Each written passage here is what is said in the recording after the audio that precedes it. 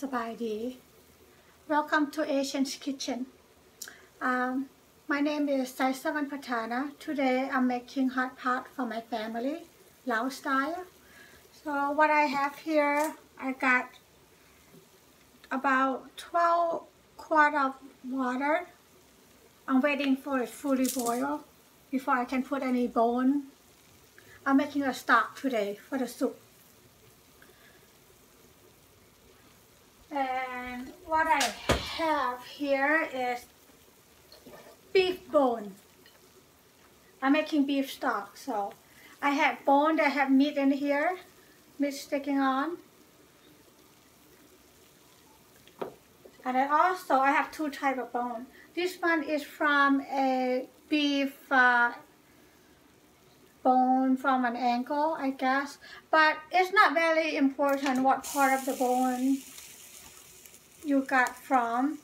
So this is any bone is good for soup. So as long as you keep it boiling for at least two hours to three hours, you should get a very good flavor come out of that. The best bone for you to have for your stock, I would say oxtail or a beef rib those two bones are very, very good for stock, but I cannot get that. They don't have those stuff at the uh, Asian grocery store that I went to today. So I got these. There you go. Now I have to wait for it to be boiled again before I can add other ingredient in.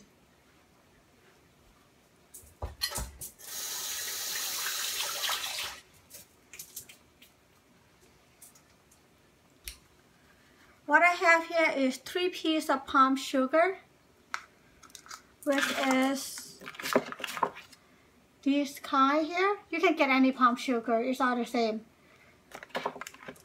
And big chunks of ginger. About six leaves of lime leaf. I'm gonna put it all in there once the water get boiled.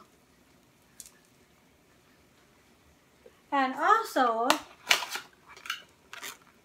this uh, Vietnamese uh, special spice for pho. You can grab this one in any oriental store. They got four packages in here. I'm only gonna use two. Cause my pot today is a medium size pot. It's number 32 pot. I got about, like I said, 12 quart of water in there. So I'll be putting this in there in a minute.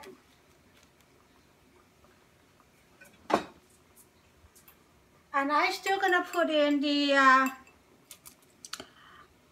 grounded white pepper. About one tablespoon.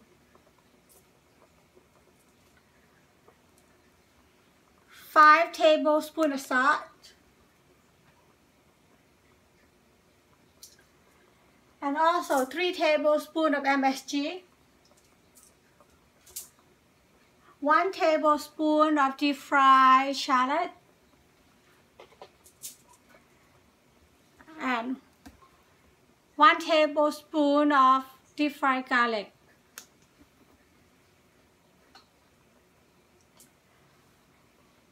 4 tablespoons of fish sauce, 4 tablespoons of thin soy sauce. Basically, that is all the ingredient for the broth today. So, we just have to wait now for the water to be boiled.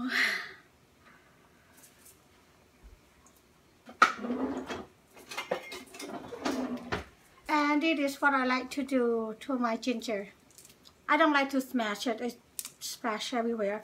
So I kind of slowly got my knife in there and crack it open a little bit. Halfway, crack it open a little bit. And now you gotta be very careful. Or you can just break it. You don't have to do it too much. Just open it up so the flavor will come out.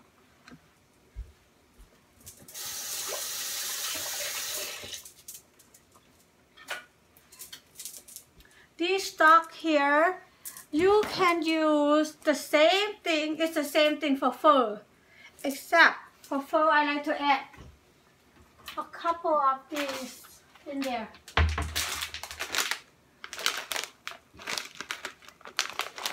Right here. I would put in there about five pieces. The whole house will smell like pho if you add this in too.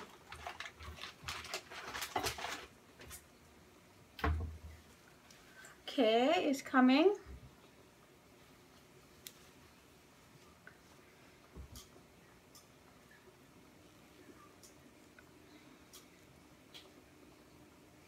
Now that it start bubbling, I'm putting in this spike two bag. Just drop it in. And lime leaf, one, two, three, four, five, six. I picked this one fresh from my uh, garden. Ginger.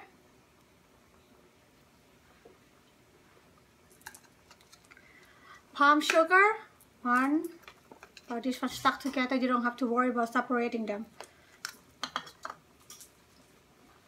if you don't have palm sugar you can use brown sugar or white sugar but I recommend palm or brown sugar better because it's more healthier for you.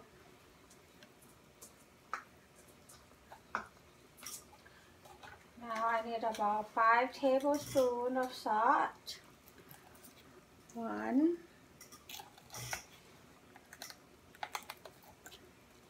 two, three, four, five. I'll do five for now. The reason I put five in there now because the salt that I use is not that salty. It's a per sea salt. So if you use regular salt, it may be a little bit more salty. You might want to do four spoon, four tablespoon first.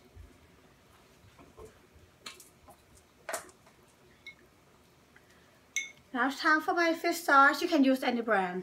It doesn't matter as long as it's a fish sauce. One, two,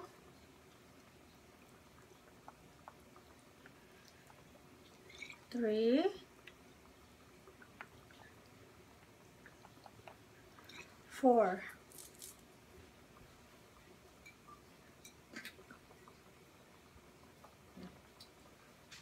Also, thin soy sauce. Any brand is good. You don't have to use what I use, but I like this one. If you can find it, good for you. It's very good actually.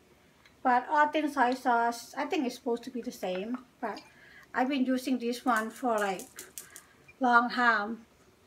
Cause this is what my mom used. So three and four.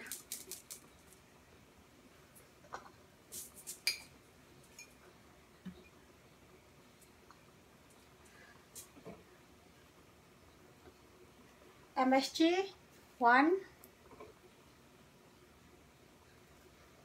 two,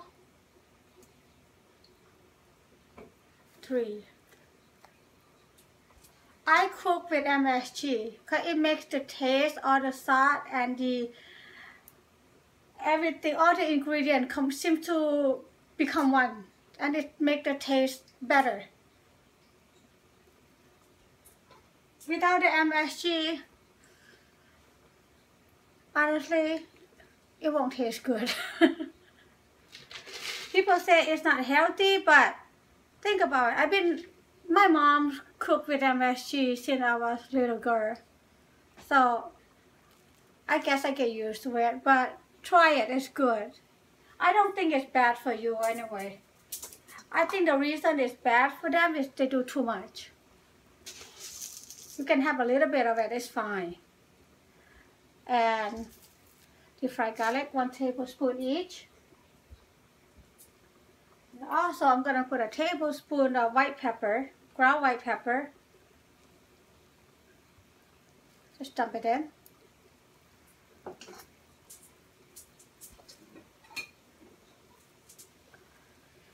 Stir it a little bit. Make sure all the ingredients going down. You see all this bubble here? You can scoop it out. That way your, your soup is clear.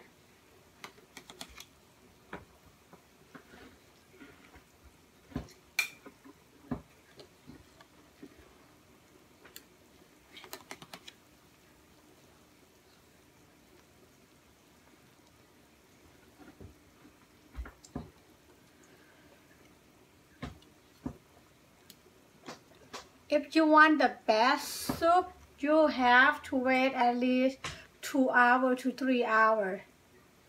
There's no shortcut for Asian cooking.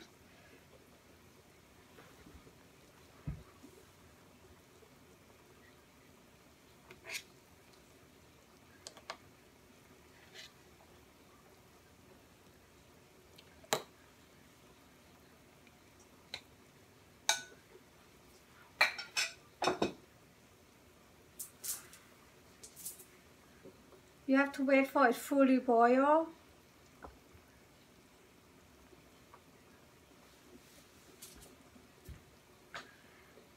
And then in about a minute, we can turn down the heat into in between medium and high.